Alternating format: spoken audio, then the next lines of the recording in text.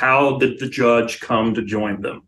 And at the conclusion of this chapter, the kid's only response to this amazing story is this the ex priest turned and looked at the kid, and that was the judge, the first I ever saw him. Aye, he's a thing to study.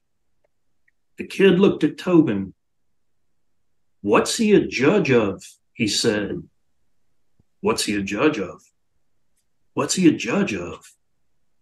Tobin glanced off across the fire. Ah, lad, he said, hush now. The man will hear ye. He's ears like a fox. The, implication is if you ask, he, he will be the judge of you. And it foreshadows the kid's ultimate fate. It's you don't news. want um, yeah, you don't want that guy to he's it's the eye of Sauron.